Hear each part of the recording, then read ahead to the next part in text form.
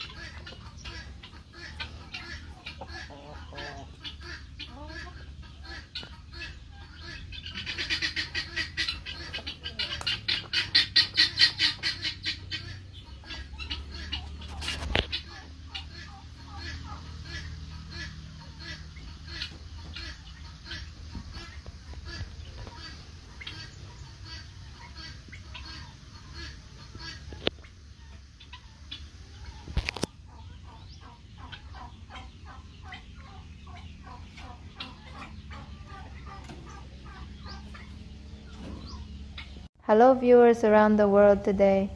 I am going to update our farm in Misamis Oriental, Philippines. This is our azolla, used as food for our livestock like pigs, chickens, goats, and more. Azolla is a good source of protein. Also, we save money by using azolla. We just use catfish to make azolla grow. Catfish produces nitrogen because of their poop and azolla needs nitrogen in order to grow and multiply.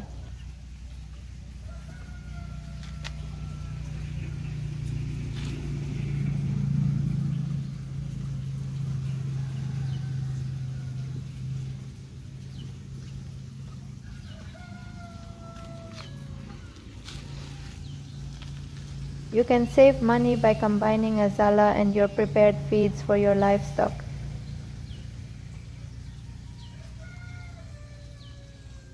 This azolla can multiply in days. This is sweet potato. We planted it few months ago. We already harvested some of the leaves.